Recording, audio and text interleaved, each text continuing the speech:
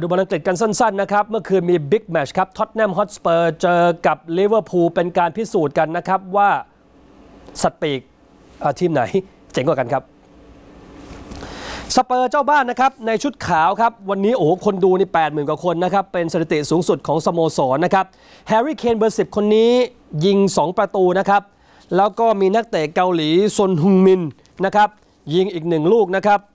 สเปอร์ครับ ชนะทางด้านของลิเวอร์พูลไป 4 ประตูต่อ 1 นะครับ ก็ทำให้แฟนลิเวอร์พูลก็โดนยำเละนะครับ ในโลกโซเชียลเขาบอกว่า นี่ทีมฟุตบอลหรือโจ๊กครับ พอลิเวอร์พูลเละจริง ๆ นะครับ ตอนนี้อยู่อันดับที่ 9 แข่งกันไปไม่กี่นัดก็น่าจะ confirm แล้วครับ ว่าฤดูกาลนี้หมดลุ้นแชมป์แน่นอนส่วนสเปอร์ มีลุ้นแชมป์แข่งกับแมนซีแล้วก็แมนยูนะครับ